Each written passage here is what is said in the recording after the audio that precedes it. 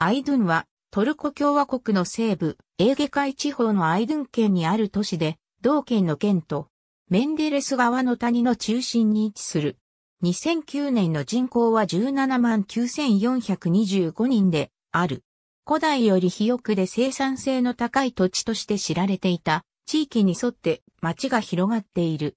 アイドゥン県で最も有名な作物はイチジクであるが、他の農産物も栽培され、町では軽工業が発達している。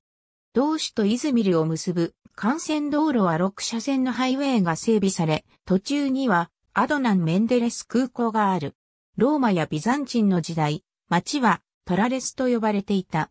世界最古の楽曲が完全な形で記録されている聖キロスの墓碑名はこの都市近郊で発掘された。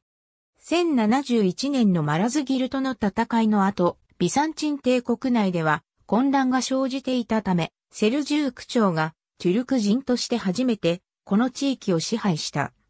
しかし、マヌエル一世コムネノスが12世紀後半に町を奪還し、再びビサンチン帝国領となった。1282年、トゥルク人が再び町を奪還した。その領土も南に拡張した。その後外はアイドン公国に引き継がれ、国名にちなんで町はエイドネグルーと名付けられた。http://www.weatherservice.com スラッシュウェザースラッシュ weatherall.php3 s イコール43271リファーイコールアンドユニッツイコールアスアンドシティネムイコールアイドゥンターキー。ありがとうございます。